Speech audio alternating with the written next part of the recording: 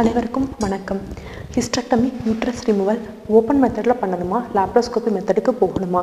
அப்படின்ற டவுட்ஸ் நிறைய பேத்துக்கு இருக்கும். அப்படி இருக்கவங்க இந்த வீடியோ பார்த்து தெரிஞ்சுக்கோங்க. நான் டாக்டர் சவிதா அசோக் சக்தி கருத்தரிப்பு மற்றும் டெஸ்டி பேபி சென்டர்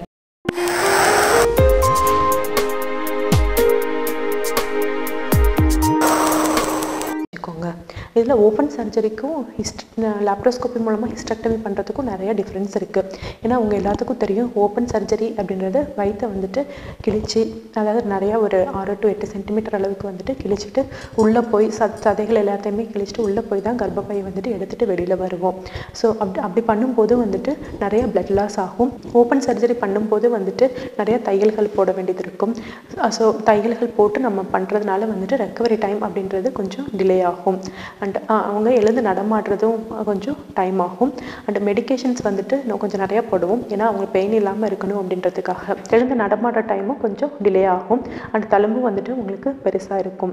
ஸோ இதெல்லாம் வந்துட்டு ஓப்பன் சர்ஜரியோட டிஸ்அட்வான்டேஜ் அண்ட் அதே இன்னொரு சைடு பார்த்தீங்க அப்படின்னா லாப்ரோஸ்கோபி லாப்ரோஸ்கோபி அப்படின்றது உங்களுக்கு எல்லாத்துக்கும் தெரியும். It's a minimal invasive surgery ஒரு ஹீ ஹோல் சர்ஜரி அதாவது ஒரு சின்னதாக ஒரு இன்சிஷன் போட்டு அதன் மூலமாக வந்துட்டு கர்ப்பப்பையே வெளியில் எடுக்கிறது தான் இந்த லாப்ரோஸ்கோபிக் சர்ஜரி இப்போ எல்லாமே ரொம்ப அட்வான்ஸ் ஆயிடுச்சு உங்களுக்கு தெரியும் ஹிஸ்டக்டமி அப்படின்றது ஒரு மேஜர் சர்ஜரி ஸோ இதை வந்துட்டு யாருமே ரிஸ்க் எடுக்க விரும்ப மாட்டாங்க. அண்ட் ஓப்பன் சர்ஜரி முந்தைய காலத்தில் தான் பண்ணிட்டு இருந்தோம். கடந்த பத்து ஆண்டுகளாகவே வந்துட்டு லாப்ரோஸ்கோபி தான் எல்லாருமே ப்ரிஃபர் பண்ணுறாங்க அண்ட் இந்த லேப்ரோஸ்கோப்பியோட அட்வான்டேஜ் என்ன அப்படின்னு பார்த்தீங்கன்னா நான் சொன்ன மாதிரி it's a keyhole surgery so சின்னதாக ஒரு இன்ஜெக்ஷன் போட்டு தழும்பு இல்லாமல் வந்துட்டு நம்ம இந்த யூட்ரஸை வந்து வெளியில் எடுக்கிறோம்.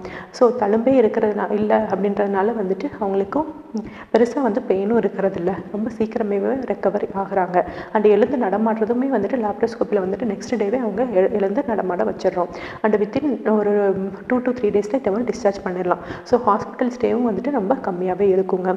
இது ரொம்ப மினிமலாக தான் இன்ஜெக்ஷன் போடுறோம் அப்படின்றனால பிளட் லாஸும் நம்மளுக்கு வந்துட்டு ரொம்ப கம்மியாகவே இருக்கும். அண்ட் இந்த லாப்ரோஸ்கோப்பில் ஒன் மோர் அட்வான்டேஜ் என்னென்னு பார்த்தீங்கன்னா இதை போட்டு உள்ளே போகும்போது யூட்ரஸ் மட்டும் இல்லாமல் மற்ற ஆர்கன்ஸும் உள்ளேயும் வேறு ஏதாவது பத்தாலஜி இருக்கா அப்படின்றது நம்ம பார்க்க முடியும்.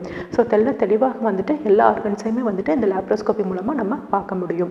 அண்ட் இதில் வந்துட்டு பார்த்தீங்கன்னா லாப்ரோஸ்கோப்பியில் குறைவான இன்ஸ்ட்ருமெண்ட்ஸ் தான் நம்ம யூஸ் பண்ணுறோம் ஸோ பக்கத்தில் இருக்க தசைகளுக்கோ இல்லை வேறு ஏதாவது ஒரு பிளட் வெசல்ஸ்க்கோ வந்துட்டு மினிமலாக தான் வந்து இன்ஜுரி ஆகுது. அதை வந்துட்டு நம்ம எதுவும் டச் பண்ணுறது இல்லை. டேரெக்டாக போயிட்டு யூட்ரஸ் மட்டும் ரிமூவ் பண்ணிவிட்டு வெளியில் வந்துடுறோம். ஸோ இந்த பேஷண்ட்ஸ்க்கு வந்து இதில் மெடிகேஷன்ஸ் வந்து ரொம்ப கம்மியாக தான் தேவைப்படுது. ஸோ தழும்பு இல்லாமல் மிக எளிமையான ஃபாஸ்ட்டாக ரெக்கவரி ஆகக்கூடிய ஒரு சர்ஜரி தான் இந்த லேப்ரோஸ்கோபிக் யூட்ரஸ் ரிமூவல் ஸோ நான் பேஷண்ட்ஸ்க்கு எல்லாத்துக்கும் அட்வைஸ் பண்ணுறது லாப்ரோஸ்கோபி மூலமாகவே எல்லா சர்ஜரியும் பண்ணிக்கோங்க அப்படின்றது தான் மேலும் இதை பற்றின டவுட்ஸ் ஏதாவது உங்களுக்கு இருந்துச்சுன்னா சக்தி ஃபர்டிலிட்டி அப்படின்ற யூடியூப் சேனலை வந்துட்டு லைக் பண்ணுங்கள் ஷேர் பண்ணுங்கள் மற்றும் சப்ஸ்கிரைப் பண்ணுங்கள் தேங்க்யூ